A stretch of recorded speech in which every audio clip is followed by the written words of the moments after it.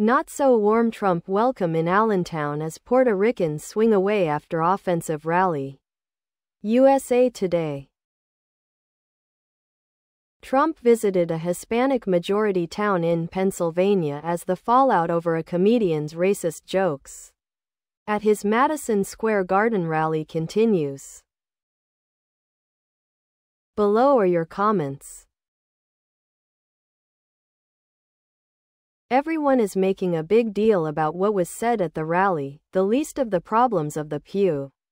Puertorriqueños and everybody else living in this country is what Trump thinks about them, if Trump Ray.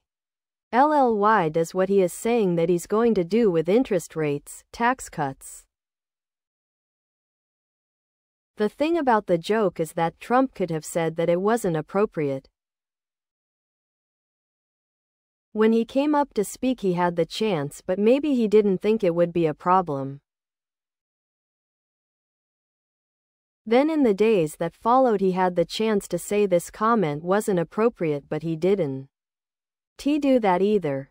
Some Republicans can see the issue with this joke and other statements at the Trump rally and have denounced it, but the leader of the party Trump sees nothing. Vance's response was insensitive, people don't need to be so sensitive. Vance needs to realize that.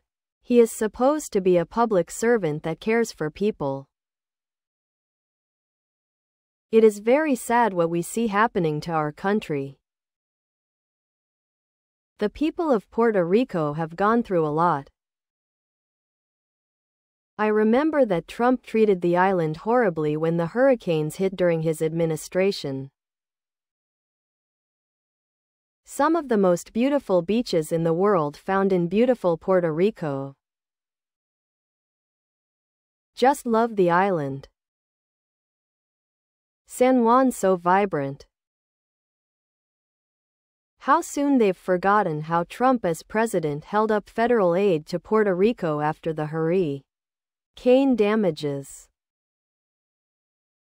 All because they did not support him 100% in 2016.